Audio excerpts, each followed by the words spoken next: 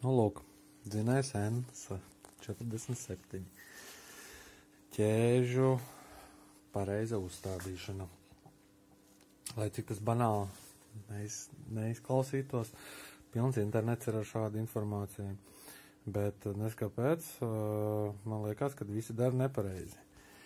Un tāpēc arī es esmu atkārtot izjaucis dzinēju, jo es biju salicis ķēdi tā kā to dara visi, tā kā liekas, ka kā ir pareizi, man arī tā kā nu, rādā uh, un māca BMW speciālisti, bet uh, man ir savs viedoklis un pastāstīšu, ko es redzu nepareizi, ko es biju izdarījis nepareizi.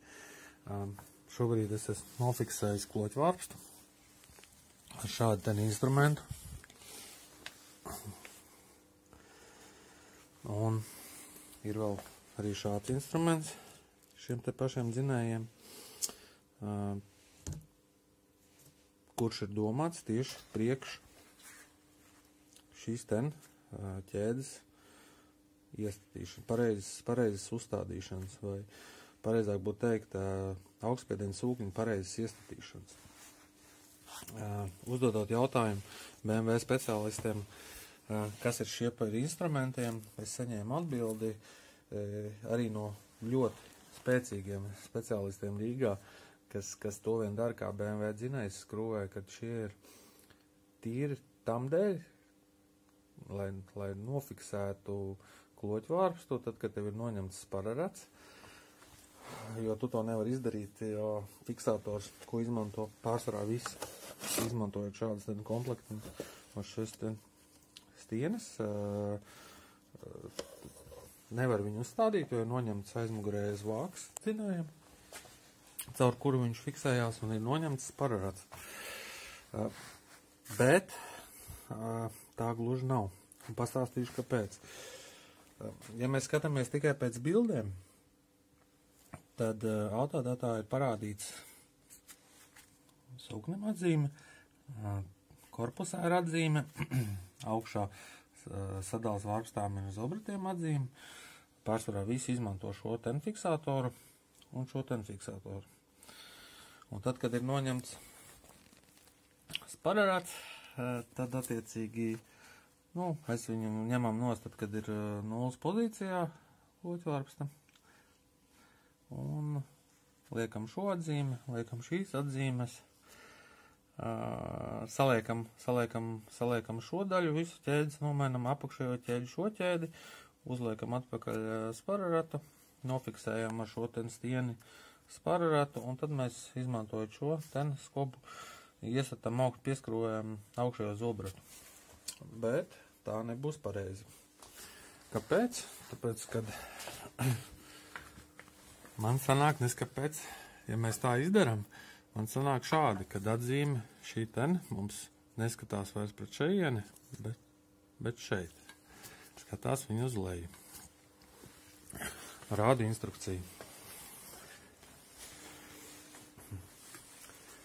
Instrukcijā pirmais, kas ir norādīts pie ķēžu mainas, ir noņemiet dzinēja galvu, kas man liekas pilnīgs absurds, un, un es uzskatu, ka to nevajag darīt. Un Pie uzstādīšanas pirmais, kas ir uh, rakstīts, ir uh, pagrieziet kloķvārpus par 45 grādiem vēlāk, tā lai pirmā cilindra virzils atrodas 16 mm zemāk no bloka uh, virsmas. Ko es arī esmu izdarījis? Es, šeit man ir kalibrs. 16 mm kalibrs. Šobrīd virzulis, pirmā cilindra virzulis atrodas pa 16 mm zemāk. Mēs esmu uzstādījis šo ten fiksātoru.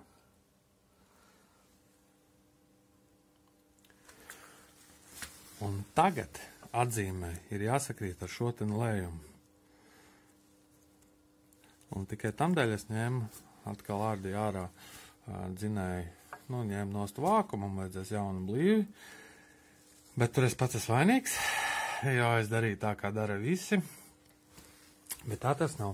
Jo arī autodata, ja palasa instrukciju, nevis tikai skatās bildes, raksta pie dzinēja uzstādīšanas, no pie ķēžu maiņas. Pirmais, ko darat, nofiksējiet, nofiksējiet, izmantojot šo instrumentu, nofiksējiet kloķvārpstu. Un pēc tam ir tāds interesants teksts. Pagrieziet kloķvārpstu uh, VMT pozīcijā. Tā ir pozīcija, kurā mēs pēc tam ar šo ten pinu nofiksējam spararatu. Tā ir tā nulles pozīcija, kad virzulis atrodas augšējā punktā. Un tad, kad virzulis atrodas augšējā punktā, mēs fiksējam šo ten zobratu, izmantojot šo ten skavu. Daudzi noteikti man gribēs teikt, kad, kad, kad, kad tūlītās arī pagriezīšu, pagriezīšu dzinēju tā, lai viņš atrodas nulles pozīcijā. Atpakaļ. Ā, es nevaru, es ļoti atvainojos. Ja izskrot šī ten jāņem no šis fiksators. Noņemšu no fiksatoru.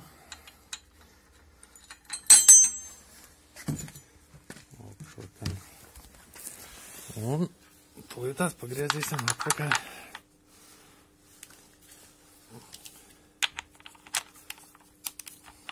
kloķu arkstu.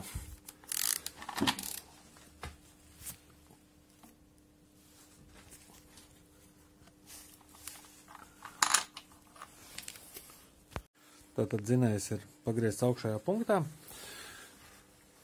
Kā to dara visi, un kā es to arī pirmoreiz izdarīju, atzīme sakrīt ar lējumu bloku, bet tā, tad, tā tas nav pareizi.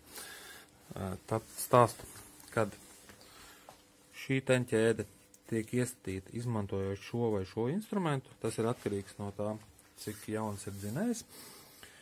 Un šī ķēde tiek iesatīta ar šo instrumentu un šo instrumentu. Un, un, un nu, ne par velti e, ražotājs ir uzlicis tās atzīmes. Ne jau tam dēļ, lai sarežģītu dzīvi kādam, bet tam dēļ, lai degvielas sistēma strādātu pareizi. Un tie, kas man gribēs oponēt un teikt, ka tas taču ir komunāls un tam nav būtiski, kādā pozīcijā strāv sūknis, tad tiem es gribētu atklāt noslēpumu, ka šis ir viena plunžera sūknis, un viņš strādās pareizi, pareizi viņam būtu jāstrādā, kad sūknis rada maksimālo spiedienu pie kat katras sprauslas iesmidzināšanas momentā. Un ja jums nebūs uzlikts pareizs sūknis un, un, un teiksim, dzinējiem parādīsies problēmas ar degvielas sistēmu, tad, nu, tad būs tāds futbols, varēs vest sprauslas, meklēt vainas prauslās, varēs ņemt sūkni, nost, meklēt vainas sūknī, nu, filtrā, nezinu, nu, tur, nu, dažādas lietas domāt un, un meklēt, bet ja, ja būs sūknis uzlikts tā, kā ir paredzējis ražotājs, un to jau ne jau es izdomāju, bet uh, tie, kas ir šo dzinēju būvējuši un komplektējuši, tad, nu, varēs, varēs meklēt problēmu visur citur, izņemot vainot sevi pie tā, ka, teiksim, kaut kas nav izdarīts tā, kā tam ir jābūt. Par cik es naktīs gribu gulēt mierīgi un neuztraukties par to, ka es kaut ko varbūt es ne tā izdarījis, tad es visticamāk to ķēdi tomēr pārlikšu tā, kā viņai ir jābūt. Un salikšu tālāk dzinēju, tad arī parādīšu, kā izskatās, kad ir viss salikts. Lūk, ķēdi pārliku. Šobrīd nulles pozīcija mums atbilst ar lējumu šuvi blokā un ir fiksators. Ņemšu no fiksatoru un parādīšu, izgriezīšu dzinēju un parādīšu, kur nostājās atzīme pie augšējā punkta. Dzinējam atrodoties Virzulim atrodoties augšējā punktā, mm. zobrata atzīme mums ir šeit, nevis šeit. Tā kā lūk tā. Likšu galvu virsū un liksim augšējo ķēdi. Galvu, protams, es esmu noņēmis nost ne jau tam dēļ, lai ķēdes uzliktu. Nu, šis ir tas pats nelaimīgais dzinējs, kuram pārtrūk ķēde. Tā kā Galva ir atramontēta. Visu. Jau principā salikta. Jauni vārsti ir iekšā. Atliek vēl liela kompensātora, rokers jauns. Parādīšu, kā izskatās. Vārsti pieslīpēti. Galva noslīpēta, galva nācās noslīpēt dēļ tā, ka bija no blīves tādi, nu, iespiedumi, nesmuki. Vārsts nācās mainīt, jo, uh, principā, divi tikai nebija trāpījuši pa virzujām. Pārējie visi bija saskārušies ar virzuļiem.